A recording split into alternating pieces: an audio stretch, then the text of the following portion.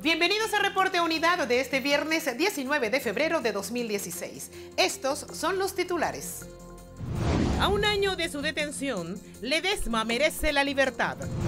Primero Justicia habla de revocar al gobierno, las colas y el hambre. Ya no se multiplican los panes, sino su precio.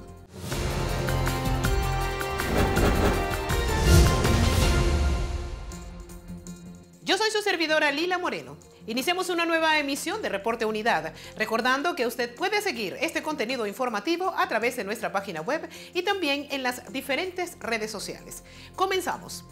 Este viernes se cumplió un año de la detención del alcalde metropolitano Antonio Ledesma, un hecho calificado como injusto y plagado de irregularidades. Dirigentes de Alianza Bravo Pueblo y trabajadores del ayuntamiento manifestaron una vez más el apoyo a Ledesma. El dirigente de Alianza Bravo Pueblo y diputado de la Unidad Democrática Richard Blanco se refirió al año de privativa de libertad del alcalde Antonio Ledesma como un atropello por parte del gobierno nacional y aseguró que desde la Asamblea Nacional seguirán la lucha hasta ver a todos los presos políticos en libertad. Está privado de libertad un ser humano que no ha cometido ningún tipo de delito. Antonio Ledesma, hoy cumples un año. Aquí están tus amigos, aquí están tus compañeros de trabajo, aquí hay dirigentes políticos y te decimos que más temprano que tarde tú, todos los presos y perseguidos políticos podrán abrazar la alegría de ser libres. Por su parte, la alcaldesa encargada, Helen Fernández, resaltó que no hay motivos para que Antonio Ledesma esté preso y aseguró que todos los trabajadores de la alcaldía metropolitana seguirán de la mano con el pueblo exigiendo su libertad aquí con el pueblo en la calle, pacíficamente, constitucionalmente, haremos valer no solo la amnistía que va a liberarnos nuestros presos, sino tantísimas leyes que tenemos que promulgar y aceptar para salir de la crisis en donde estamos sumergidos. Finalizó recordando que el alcalde Ledesma enfrentó la suspensión en 10 oportunidades de la audiencia preliminar antes de ser pasado a un juicio que catalogó de injusto y en el cual es acusado por delitos que no cometió. Premios Nobel de la Paz y expertos en Derecho participaron este viernes en el Foro por la Libertad, en honor a los presos políticos, donde intercambiaron sus experiencias de lucha por los derechos humanos y la democracia. La actividad convocada en homenaje a los presos políticos permitió que el panel disertara sobre el sistema judicial en Venezuela y los casos de violación de derechos humanos. Vimos cómo un Tribunal Supremo de Justicia se fue llenando de jueces, no por su fidelidad a la Constitución, sino por su fidelidad al partido de gobierno o a la avenida en llamar Revolución Socialista. Hemos visto cómo la mayoría de los jueces en cifras conservadoras, el 66% de los jueces en Venezuela son jueces de libre nombramiento y remoción, que no tienen estabilidad, que pueden ser removidos sin causa alguna, sin procedimiento alguna. El abogado constitucionalista Alberto Arteaga precisó que la justicia penal venezolana es caracterizada por su lentitud y por estar asediada y politizada por quienes gobiernan el país.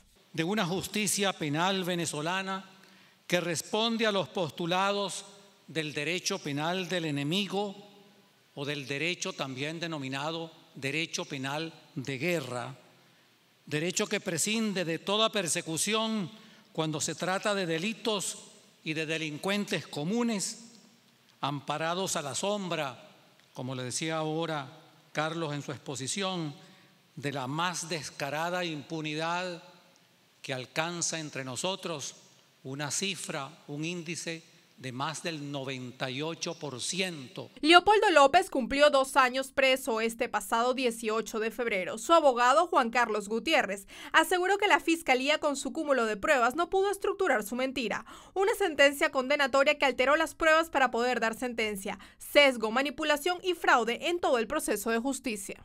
De su comportamiento no violento, de sus expresiones, de sus convocatorias dentro de parámetros constitucionales Todas esas pruebas fueron negadas y apartadas maliciosamente, sedicentemente por el Ministerio Público. Recordemos que desde hace dos años el líder opositor Leopoldo López está recluido en la cárcel de Ramo Verde y sentenciado a 14 años de prisión. Igualmente, este viernes se cumplió un año de la detención arbitraria del alcalde metropolitano de Caracas, Antonio Ledesma. El diputado Julio Borges dio una esperanza para el pueblo de Venezuela al asegurar que la oposición ejecutará medidas democráticas para cambiar al gobierno de Maduro.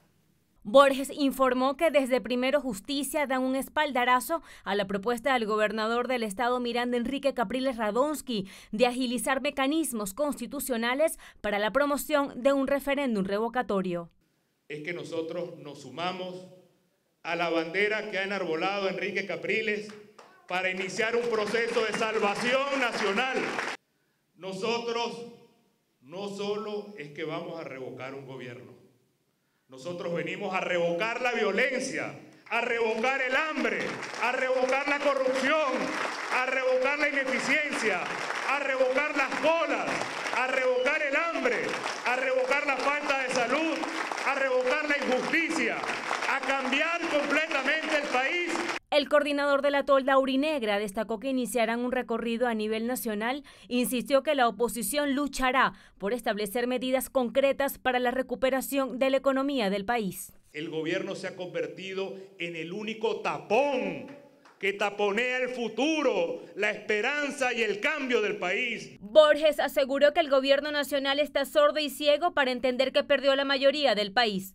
Destacó que el pueblo venezolano se expresó contundentemente el pasado 6 de diciembre. En Venezuela, además de la arepa, uno de los productos más consumidos es el pan el que ahora por la escasez y el incremento en el precio de la harina de trigo multiplica cada día su costo. Si aquí no hay pan a ninguna hora. Esta es la tercera panadería que yo visito hoy. En una odisea se ha convertido adquirir el producto en muchos establecimientos. La falta de despacho y la escasez de la materia prima ha llevado a limitar su elaboración. En varias panaderías la carta de presentación luce de esta manera. Para los dueños la situación es extremadamente complicada. La harina me llegó hace 20 días aproximadamente y me informaron que no iba a llegar por lo menos por dos meses. No solo la harina, también tuve problemas con el azúcar, tengo problemas con los huevos, tengo problemas con la margarina, con el café, con la leche. Tuve que llevar la producción a lo mínimo para mantenerme abierto lo más tiempo posible. Reportan una caída en la elaboración del pan salado de un 80%. El pan dulce también se ha convertido en un lujo debido al costo del azúcar. Matemáticamente podríamos decir que una canilla pasaría a costar entre 150 y 180 bolívares. Si la opción es un pan campesino, tendríamos que disponer de 200 a 250 bolívares. El saco de harina costaba 2.700 bolívares. Vale 5.900 el saco de harina. No, no estoy vendiendo nada, solo mantenido con el desayuno de empanadas y el almuerzo. Para buscarle una inmediata solución a esta problemática, Juan Crespo, presidente de Fetrarina, solicitó apoyo en el Parlamento para exponer la grave situación que se presenta con el trigo y sus derivados. Vislumbra un caos económico en el sector, resultando afectados más de 80 mil trabajadores. La Asamblea Nacional fue un espacio donde las ofensas, atropellos y hasta golpes a los diputados de oposición eran constantes hasta el pasado periodo de mayoría oficialista. En esta nueva etapa, el debate busca altura. Sin embargo, parlamentarios del oficialismo reclaman por supuestas ofensas de las que son víctimas. Elías Jagua es uno de ellos. Durante la sesión de este jueves, el diputado y otrora protector del Estado Miranda no ocultó su malestar cuando le preguntaron por la niñera, aquella dama que fue detenida en Brasil por llevar un arma.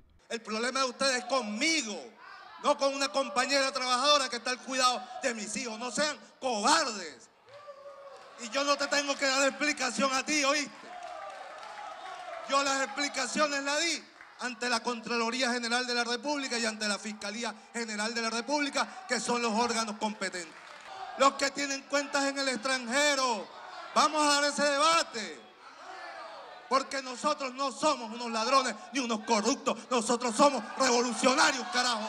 Y vamos a defender nuestra dignidad donde quiera que sea.